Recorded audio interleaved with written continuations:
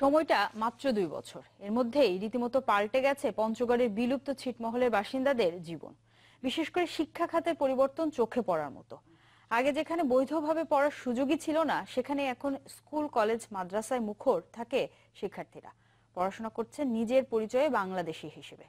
পঞ্চগড় প্রতিনিধি হোসেন রায়হানকে সাথে নিয়ে নাহিদ হোসেনের রিপোর্ট আর ছবি তুলেছেন ইরফান হায়ুম।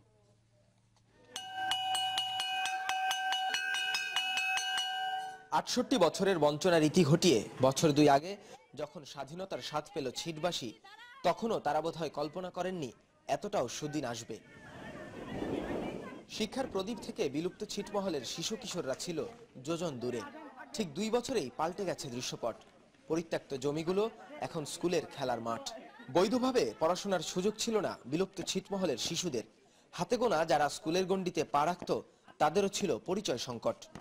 স্কুল এডমিশন হতে গেলে অন্য কোথার কথা বলে তখন স্কুলে ভর্তি হতে হতো। আগে আমরা অনেক কুমিবাতি দিয়ে পড়ালেখা করতাম এখন আমরা বিদ্যুৎ পেয়ে আমরা ভালোভাবে পড়ালেখা করতে পারতেছি। প্রায় নব্বই শতাংশ বাচ্চা এই সিডমহলের স্কুলে সিডমহলের বাচ্চাগুলো সিডমহলের স্কুলে পড়ে। শুধু স্কুল নয় হয়েছে কলেজ মাদ্রাসাও। লাল সবুজের পতাকা উড়ে উড়ে জানান দিচ্ছে এই ভূখণ্ড বাংলাদেশেরই। পঞ্চগড়ের সাবেক ছিটমহল গারাতির এই কলেজে আশেপাশের তিন ইউনিয়নের শিক্ষার্থীরাও পড়ার সুযোগ পাচ্ছে। শুধু কি শিক্ষার্থী? পরিচয়হীনতার কারণে যারা কাজ পেতেন না হচ্ছে তাদের কর্মসংস্থানও। আমরা আগে যখন কলেজে ভর্তি হইতাম তখন নিজের পরিচয় গোপন করে ভর্তি হইতে লাগতো। আমি যে ছিটমহলে বসবাস করি সেটা বলা যাইতো না। এখন আমাদের এখানে কলেজ হয়েছে মাদ্রাসা হয়েছে হাই স্কুল হয়েছে প্রাইমারি স্কুল হয়েছে। যার কারণে ছোট বাচ্চারাও এখন কোনো অন্য জায়গায় যাইতে হচ্ছে না পড়ালেখার জন্য। আনন্দে আমি আপ্লুত যে আমি নতুন বাংলাদেশি হয়ে আজকে ছিটমহলের সাবেক বিলুপ্ত ছিটমহলের বাসিন্দা হয়ে আমি চাকরি করতে পারতেছি। পরিচয়হীন মানুষদের হাতে লাল সবুজের ঝান্ডা তুলে দিতে সামনের সারিতে থেকে যারা আন্দোলন করেছেন তাদের চোখে মুখেও এখন আনন্দের ছটা। বাচ্চাদের এত সুন্দর যে আগ্রহ শিক্ষা যে শিক্ষা ছিল না ছিটমহলে।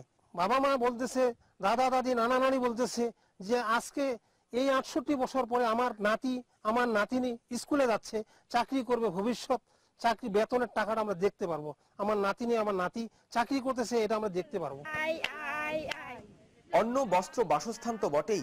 শিক্ষাক্ষেত্রে এমন দৃশ্যমান পরিবর্তন হয়তো সামনের দিনে পাল্টে দেবে। একসময় পরিচয়হীন থাকা জনপদের বাসিন্দাদের জীবনধারা। শৈশব কৈশোরের এই দুরন্তপনার সাথে এখন যোগ হয়েছে মুক্তির আনন্দ আত্মপরিচয় খুঁজে পাওয়ার আনন্দ। পঞ্চগড়ের সাবেক ছত্রিশটি ছিটমহলে গত দুবছরেই স্থাপিত হয়েছে অন্তত পনেরোটি স্কুল। হয়েছে কলেজ, মাদ্রাসাও, যেখানে শিক্ষার হার পৌঁছেছে প্রায় নব্বই শতাংশে।